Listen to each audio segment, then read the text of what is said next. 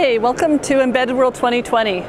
I'm here right now at the PHYTEC booth and we've just come across a really cool um, demo that's using Zephyr. Zephyr is actually showing up here more at Embedded World this year than I've seen them before. And um, we basically we've got about um, over 600 developers working actively on Zephyr right now. And so my challenge at this Embedded World is figuring out where we actually can find Zephyr.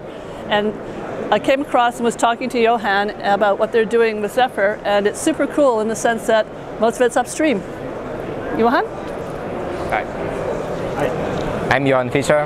I'm working for PHYTEC and I'm an embedded system developer and my job is to design hardware and software. so what, what, are we looking at here? So it's a very simple demo uh, based on Zephyr and uh, we can see here um, monochrome display and a sensor from ST Micro. Uh, it's time of flight sensor to measure the distance to, the, to our object.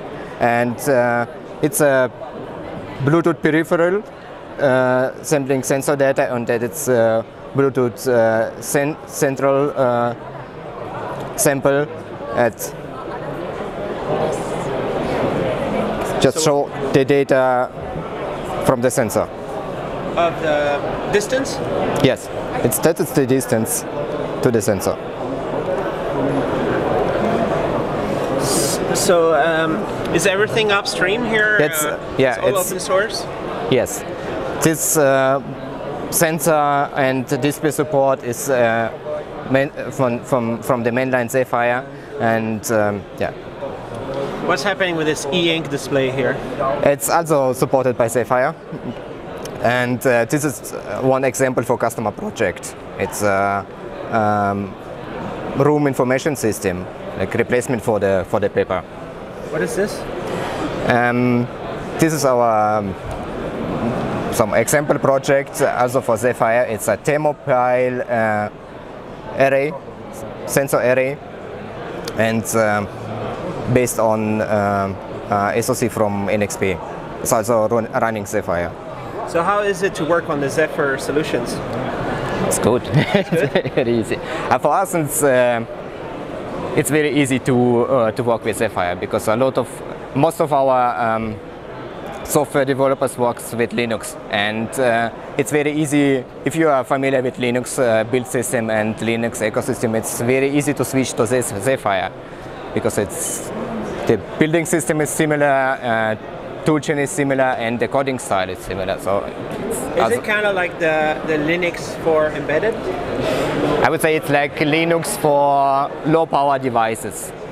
Yeah, it's good for devices where you cannot run Linux or use Linux. Yeah, and um, in, in that case, it's very easy to work with it. All right. And they've got a bunch of Hi. Hi, I'm Thea Aldrich. I'm one of the Zephyr ambassadors here at Embedded World this year in 2020. Um, really excited to be demonstrating again the reel board.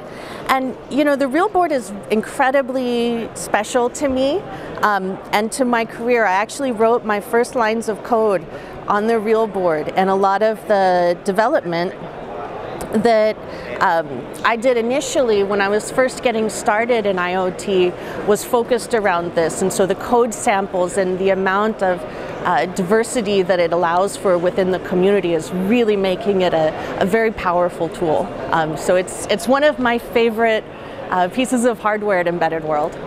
So uh, how's the uptake or the market adoption for the Zephyr? You know, we're seeing huge adoption. And right now, one of the biggest problem, and it's not really a problem, right? It's, it's for us, we consider it an outreach opportunity, is there is this tremendous amount of excitement and energy and use in Zephyr.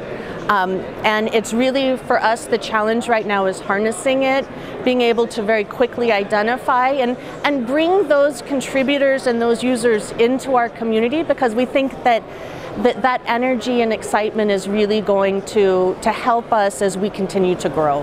Um, and so we're actively searching for people that are using Zephyr in their products or starting to hack on it um, so we can bring them in, hear what they like about it, what they don't. Um, and incorporate them into our ecosystem. And uh, you are also working at the Antmicro, yes, um, helping with business development. We're proud members of the Zephyr project. Um, we've got a number of Zephyr powered solutions um, on display in our booth, um, but really wanted to, to come over to PHYTEC and, and promote something that's really special to the entire Zephyr community. You know, the reel board was actually conceived um, at Embedded World in 2018. So, uh, what is this reel board?